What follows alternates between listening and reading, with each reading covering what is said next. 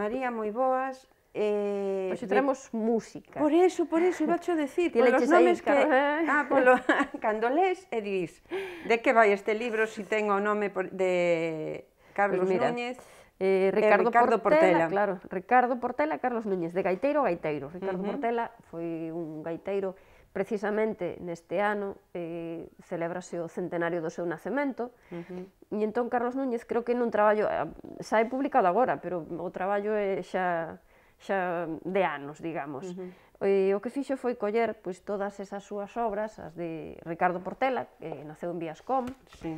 eh, era coñecido Ao que hai que agradecerlle que mantivera que mantivera todas esas, esas obras Grazas efectivamente, a él, que non se perderon. Efectivamente, un gaiteiro dos, dos tradicionais, non? Uh -huh. Bueno, pois eh, Carlos Núñez o que fixo foi recoller todas, ese, creo que son alrededor de 40 obras que Ricardo Portela fixo e eh, aí eu non, non, claro, non, non sei música, Pero, polo visto, Ricardo Portela pois, dáballe, digamos que, a pesar, mm, cando interpretaba algo, dáballe tamén o seu punto, o seu estilo, por decirlo algún xeito.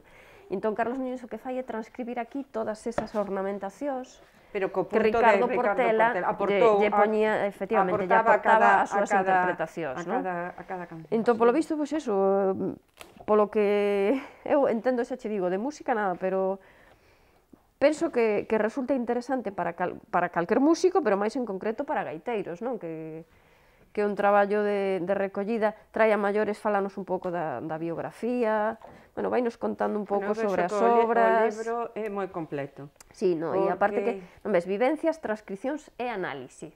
Claro, eh, ademais para, para gaiteiros, para xente que lle guste que lle gusta a gaita, que sepa tocar, a min parece un, un instrumento bastante difícil, no, no, no, non sei Eh, pero tamén creo que podemos aconsellalo para todos aqueles que queran saber eh, algo da nosa música tradicional, non só eh, interpretar a partitura que aquí nos trae, eh, que nos, nos reflexa Carlos Núñez, sino tamén quen era Ricardo Portela, o que aportou, o que había, e, e todas esas, seguro que aparece aí algunha algunha canción, algún, unha melodía que todos coñecemos. Que todos coñecemos, sí. Eh? Eh, ta, bueno, pois un pouquiño máis da nosa idiosincrasia, do noso estilo, da nosa vida, da nosa música, e do noso ser, claro, como, como será algo máis galego cunha gaita.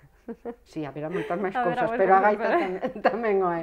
Entón, vámolo, vámolo recomendar, sobre, sobre todo para, para xente que, que coñece a música, que sabe a música, pero calquera tamén se pode acercar a Ricardo Portela da man de Carlos Núñez.